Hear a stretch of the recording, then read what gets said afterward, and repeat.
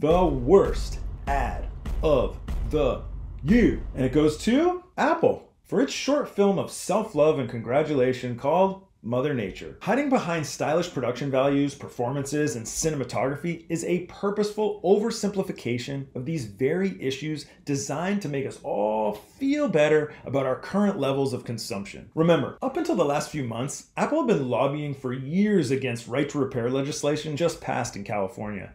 And even still, iFixit.com found that the iPhone 15 is riddled with software logs that cause warning messages to pop up or functionality to be lost if parts are replaced with new ones not bought directly from Apple. Apple missed an opportunity here to not only note its progress, but instead of treating that progress as a victory or sales driven differentiation from competitors, use it to really push for more and help its corporate peers to do the same, because that's what it's going to take to make a real difference.